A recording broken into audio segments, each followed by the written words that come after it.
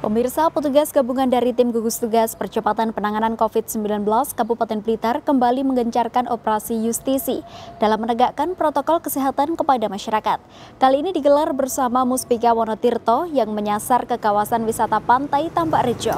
Pada kiat kali ini tidak hanya memberikan sanksi kepada para pelanggar saja, tetapi petugas juga memberikan sosialisasi kepada para wisatawan.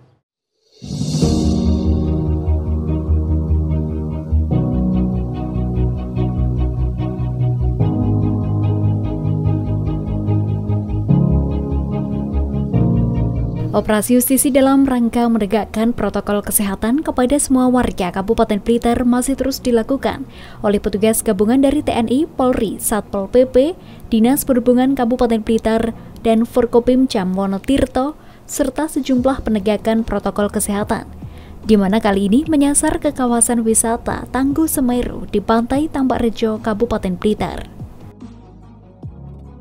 Yang pertama, saya mengucapkan terima kasih atas kerawan panjenengan dalam acara pada pagi hari ini yaitu penerapan protokol kesehatan.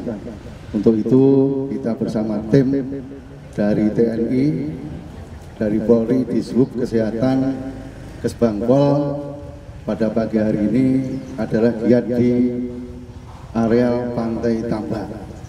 Untuk itu perlu diketahui pada giat pada pagi hari ini eh, kita nanti akan mengadakan sistem Pergub 40 dan justisi.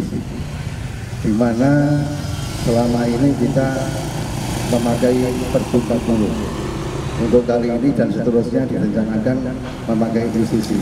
Untuk itu para PPNS atau PP disiapkan nanti bagi pelanggar yang tidak mentaati protokol kesehatan yang tidak memakai masker sama sekali pakai justisi tarif itu ya jadi pakai justisi eh, Bapak Ibu hormati untuk menyikat waktu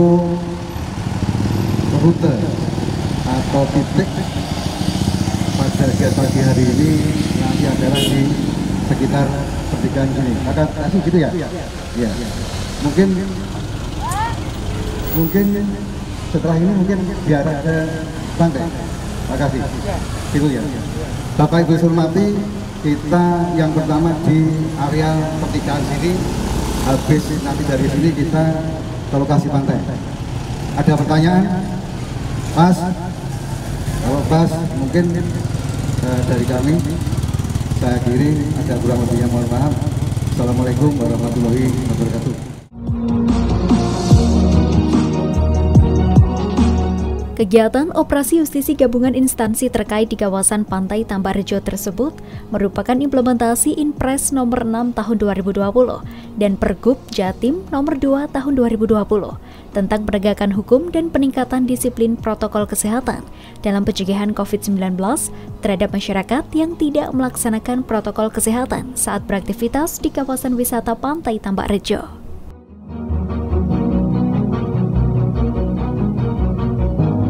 tujuan operasi justisi. Jadi hari ini tidak operasi justisi saja Pak. Kita mengacu kepada in, instruksi Presiden nomor 6, Perda 2 Provinsi Jawa Timur, Pergub 53, Perbub 40 2020. Jadi kita selain justisi juga akan mengenakan sanksi kepada bagi yang tidak mentaati protokol kesehatan kita sanksi saya dengan Perbu 40 eh, pembacaan Pancasila mungkin juga bisa membersihkan di area-area tempat-tempat wisata atau kantor-kantor gitu Pak. Ya, itu permintaan bagi pelanggar Pak itu. Kita ikuti saja gitu.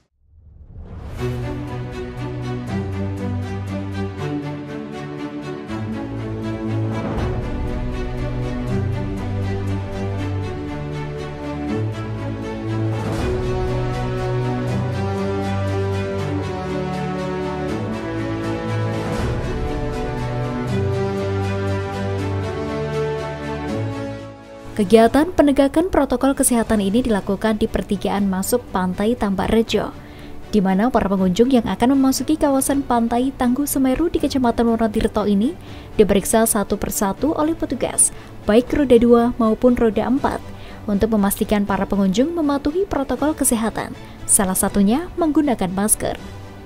Dan jika terdapat pengunjung yang tidak memakai masker, maka akan diberhentikan untuk diberikan sanksi sosial.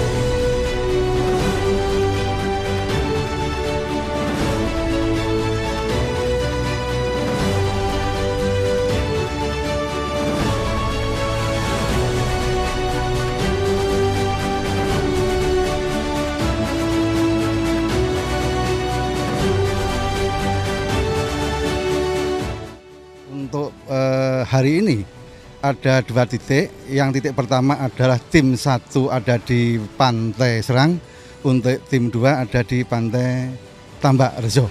Sasarannya ya pengendara yang melintas itu bagi kendaraan baik roda 4, roda 2 atau bus pariwisata, siapa pun yang tidak mentaati protokol kesehatan kita hentikan, kita BAP, kita kena sanksi.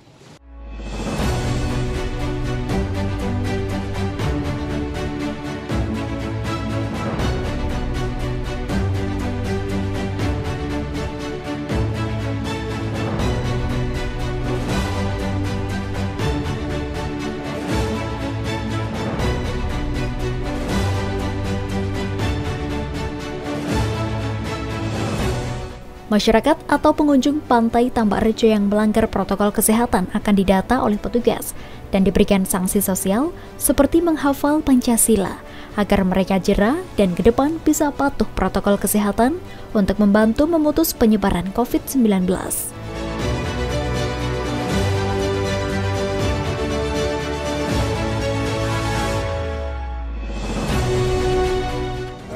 Tuhanan yang Maha Esa.